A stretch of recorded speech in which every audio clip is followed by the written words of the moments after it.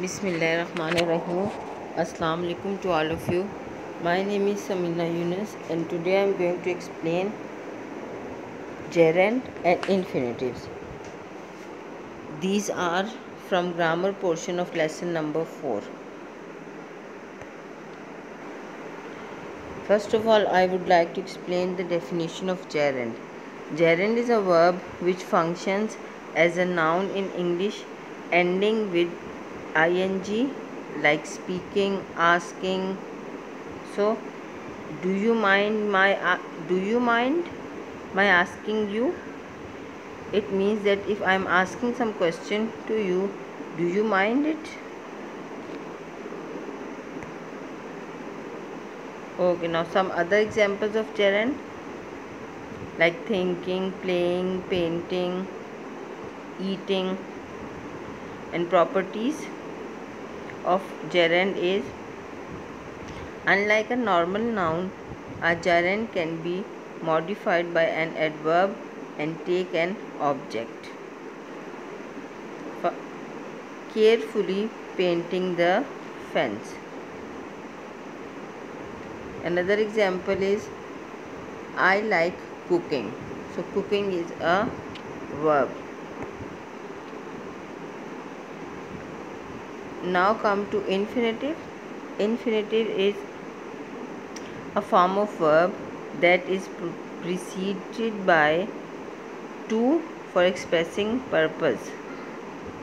It is used to qualify. And the formula of infinitive is to and plus main verb. Before every main verb we put to then it will become infinitive.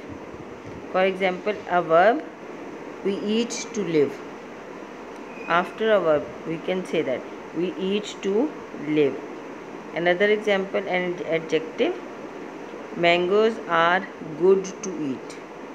So after adjective we have written to and then main verb eat. After a noun this is not the time to play time to play. And in a sentence we can also use infinitive like to tell the truth i forgot to finish my project report. So this was the example of infinitive. So there are some more infinitives which are called bare infinitives. In these infinitives we do not use